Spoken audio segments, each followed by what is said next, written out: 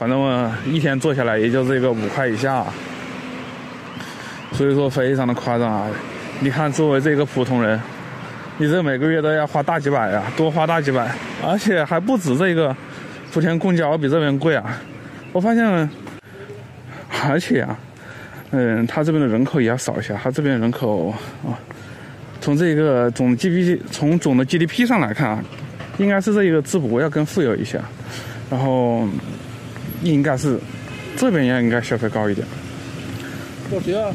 哎，我点了一个大碗，大家可以看我点的那个大碗的一碗面，我根本就吃不完。啊我从那个福建来这边还有点没适应啊，还是按照南方那边的习惯点的。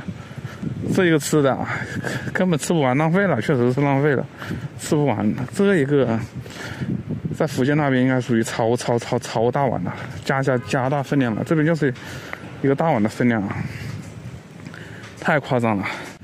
从这个 GDP 上来看的话，莆田应该属于这个中等的三线城市啊，弱三线就是两千多亿，然后最强的三线都是五千多亿了。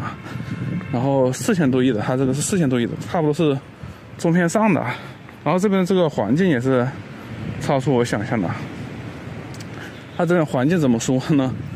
我在莆田那边看他们那个居住区啊，很多都是那个新，特别是新建的那片城区，都是三十多层的，特别高，都建的特别高。他这边呢，你看淄博这边，他这边居住楼，你看那边是不是都看不上那个居住楼？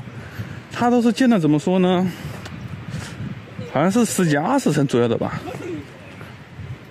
这样的话品质就要更高一些。你看这，都不是那种特别高，都不是那种三十几层的。它这边建的这样要稍微矮一点，这样品质就更高一些。这个住宿居住的人口密度也要小一些。啊，它这边花园什么的也都配的非常的好啊。哇，感受一下整个这周围。不是淄博这边很低，而是莆田那边高的有点离谱啊！啊，我估计淄博这边人啊，不仅淄博，我估计整个山东啊，还包括我们湖北的人都想象不到，莆田那边物价为什么那么高啊？也不知道为什么。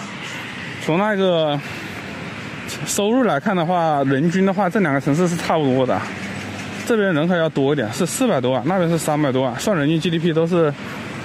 九点五万左右啊，大差不差，那边稍微高一点，还是九点七万，这边是九点四万，人均 GDP 啊，但是可支配收入的话是人均 GDP 的三到五成啊，这个再乘以这一个系数啊，就打最高的来算，乘以零点五的话，两地的人均收入其实是差不多的，但是莆田的这个哇，生活支出要高很多，所以我感觉还是住在淄博这边会更舒服一些，你就是。